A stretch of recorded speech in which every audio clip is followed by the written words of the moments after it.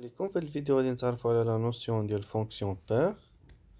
سوا اف اون فونكسيون نيميريك دي دي اف هي لونسومبل دو ديفينيسيون ديالها اون دي كو اف اي بير اذا تحققوا جوج ديال لي كونديسيون لا كونديسيون الاولى كيلك سوا اكس ابارتيان دي دي اف موان اكس حتى هي في دي دو اف يعني ان دي دو اف خصها تكون سيميتريك بارابور ا زيرو الشرط الثاني طبعا ما ندوزو للشرط الثاني حتى يتحقق الشرط الاول الشرط الثاني كيلك سوا اكس ابارتيان دي دو اف اف ديال موان اكس ايكال اف دو إكس نشوفو دابا أمثلة اللي محقق فيها الشرط الأول يعني لونسومبل دو ديفينيسيون سيميتريك دي دو اف إيكال ار يعني إلا مثلناها على لاكس هي هادي.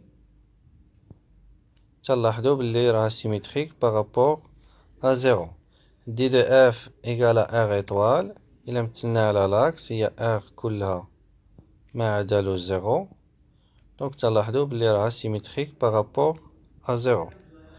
d de f égale moins l'infini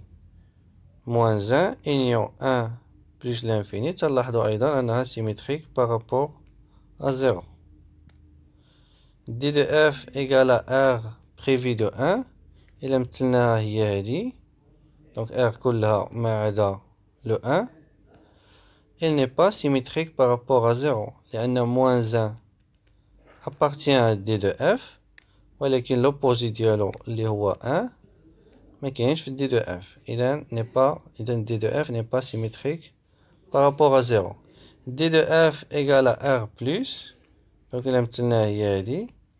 حتى هي ني با سيميتريك بارابور ا زيرو لان الا خدينا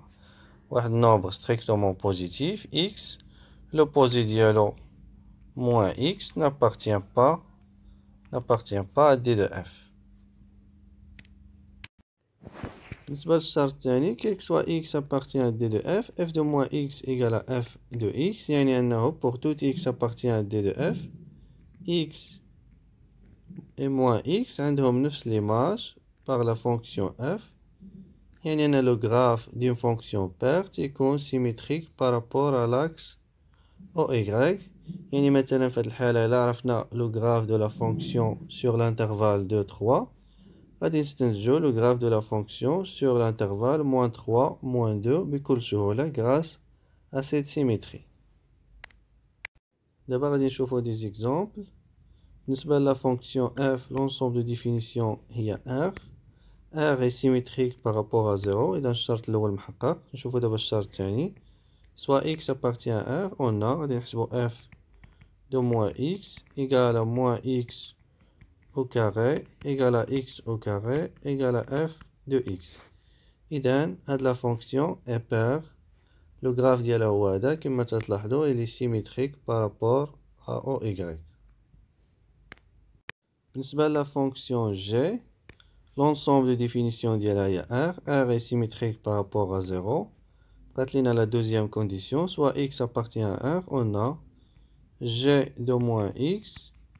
égale cos de moins x تنعرفو أن cos de moins x هو cos de x donc égal à g de x donc g de moins x égale à g de x pour tout x appartient à r le graphe ديال le cosinus هو هذا donc كما تلاحظوا il est symétrique par rapport à l'axe OY نلتقي في الفيديو القادم